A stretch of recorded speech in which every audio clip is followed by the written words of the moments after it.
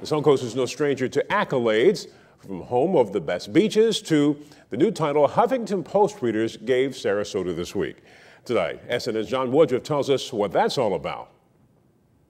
The Huffington Post calls Sarasota one of the six best American cities for growing old and happy.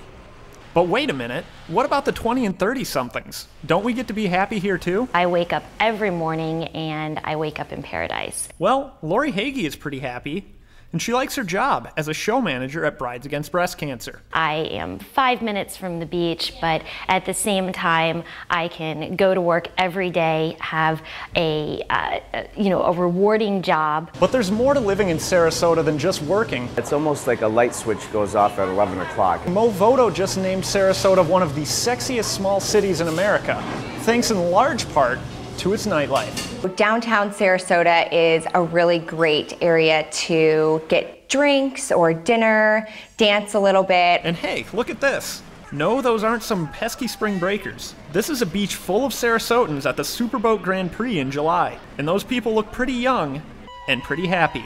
People are telling their friends um, that Sarasota is a really warm and welcoming place, and it's drawing people here. There isn't an age minimum or maximum here. Five years old to 95 years old.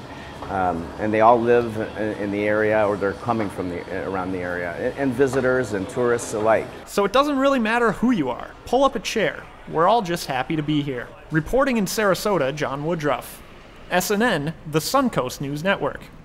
Well, if you're new in town, young people say there's plenty of ways to make new friends. In Sarasota, there's the Young Professionals Group. And if you're here for a job, it's always good to make some friends around the office.